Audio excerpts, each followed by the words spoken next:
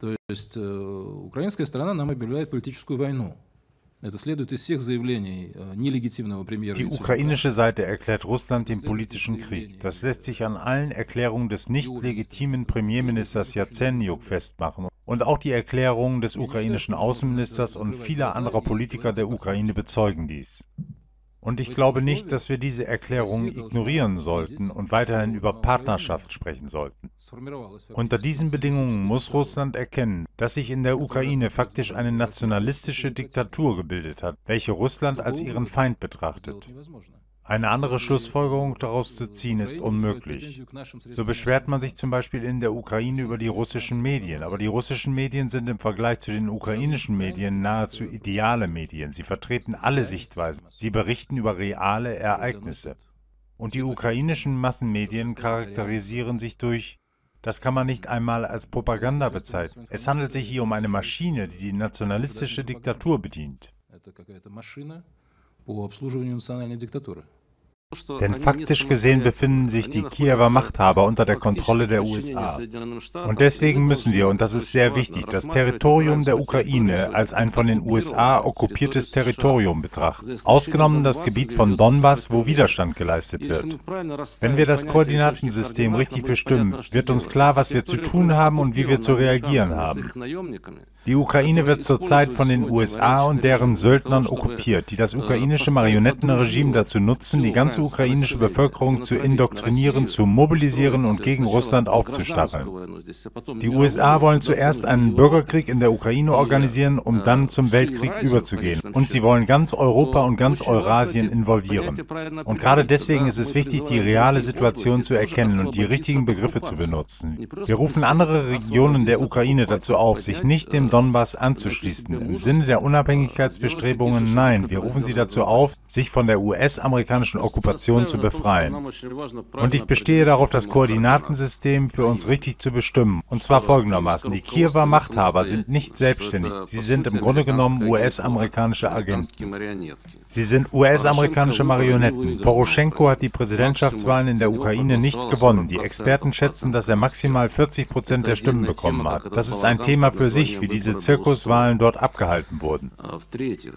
Drittens, das Territorium der Ukraine ist okkupiert. Es ist unter der Kontrolle der USA und dazu gibt es eine Menge von Tatsachen, die dies belegen. US-Amerikaner halten sich völlig legal in der Ukraine als Berater und Militärinstrukteure auf. Der ukrainische Geheimdienst SBU ist vollständig unter der Kontrolle des CIA. Also insgesamt ist die Ukraine von den USA okkupiert und wir müssen hier über die Befreiung der von der UN legitimierten Okkupation der Ukraine reden. Und die USA nutzen die ukrainischen Massenmedien dazu, eine narzisstische Psychose im Lande zu schaffen. Mit Hilfe der ukrainischen Nazis wollen sie den Dritten Weltkrieg, nein, den Vierten Weltkrieg entfesseln, wenn wir den alten Kalten Krieg als Dritten Weltkrieg mitzählen. Und ich würde vorschlagen, dass wir uns in der nächsten Sitzung damit beschäftigen, warum die USA diesen Krieg wollen, warum sie den ukrainischen Narzissmus gezüchtet haben. Die USA haben die ukrainischen Nazis deswegen gezüchtet, um in der Ukraine diesen Bürgerkrieg auszulösen, der dann als Vorwand dazu dienen soll, die Ukraine gegen Russland in einen direkten Militärkonflikt verwickeln zu lassen. Und damit wollen sie zuerst einen regionalen Konflikt in Europa schaffen, um damit einen vierten Weltkrieg auszulösen. Und diese Aggression der USA richtet sich nicht nur gegen Russland, sie richtet sich in erster Linie auch gegen Europa. Die USA haben von allen Kriegen in Europa profitiert. Vom Ersten Weltkrieg haben sie profitiert, vom Zweiten Weltkrieg haben sie profitiert und ebenfalls vom Kalten Krieg mit der UdSSR. Alle Kriege, die in Europa stattgefunden haben, waren traditionell für die USA wirtschaftlich von Vorteil. Der Krieg in Europa ist der Weg der USA zum Wirtschaftswunder, zum Aufblühen der US-Wirtschaft und dies war immer so. Und dieser Krieg richtet sich auch gegen China, weil wir sehen, wie sich Japan und Südkorea intensiv aufrüsten. Die USA haben offiziell verkündet, man werde in Japan und Südkorea neue Raketenschutzschilder aufbauen. Und das richtet sich nicht nur gegen uns, sondern auch gegen China. Deswegen sollten wir verstehen, dass der Schlüssel zu der Lösung der ukrainischen Katastrophe in Washington liegt. In Washington muss gesagt werden, Tod dem Narzissmus. Und daher schlage ich vor, die nächste Sitzung zu diesem Thema zu machen. Wir brauchen eine breite Antikriegskoalition. Хорошо. Спасибо. Всем спасибо. Noch circa elf Stunden bis 10 Uhr früh Moskauer Zeit. Was glauben Sie wird passieren?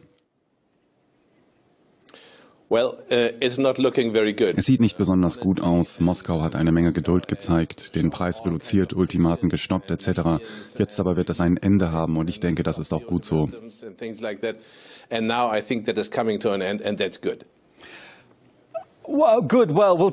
Nun ja, gut. Wir reden ja darüber, ob das gut ist für die Ukraine und Europa. Warum ist die Ukraine so offensichtlich kompromisslos? Uh, Wir haben in der Ukraine ein Marionettenregime Washingtons und Washingtons Absicht ist es, die guten Beziehungen zwischen der EU und Russland zu beenden. Ein guter Weg, das zu erreichen, ist dieser Ärger um das Gas, der tatsächlich mit Washingtons Unterstützung entsteht. Auf eine Annäherung seitens des Regimes in Kiew brauchen wir daher nicht zu warten need not wait for any, uh, you know, good uh, approach of the Kiev interim regime. Die Politik in Westeuropa ist besorgt wegen der Gaslieferungen. Mit Gas wird geheizt und gekocht etc.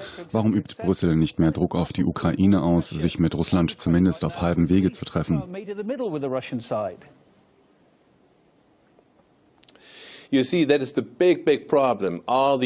Das ist das große Problem, das die Menschen in der EU mit ihren Regierungen haben. Denn die betreiben eine Art Hochverratspolitik, indem sie nicht die Interessen der EU-Bürger vertreten, sondern auf dumme und nutzlose Art Washington folgen. Ich denke, aus diesem Grund setzt die EU die Ukraine nicht unter Druck, was eigentlich sehr einfach wäre. The EU is by its strange governments not uh, putting any pressure on Kiev, which would be very easy indeed. Wird es in letzter Minute noch einen Aufschub geben oder nicht? Ich bin noch sicher, es gibt einen Notfallplan. Uh, ich denke, dass Russland jetzt eine Wahl treffen wird. Es ist nicht die Wahl zwischen mehr Geld verlieren oder der Bösewicht sein. Denn diese Bösewichtsfrage wird in den Medien entschieden. Und wenn Russland sich zu einer Medienkampagne entscheidet, dann ist es eben nicht mehr der Bösewicht. Tatsächlich geht es darum, jetzt nicht doch noch mehr Geld zu verlieren. Im Sommer das Gas abzudrehen und auf Vorkasse umzuschalten, ist wesentlich respektabler, als dies im Herbst oder Winter zu tun. Wird die Ukraine es wagen, durchgeleitetes Gas abzuzweigen, so wie das schon zweimal geschehen ist? Dadurch würde sie ihre engsten Nachbarn verärgern.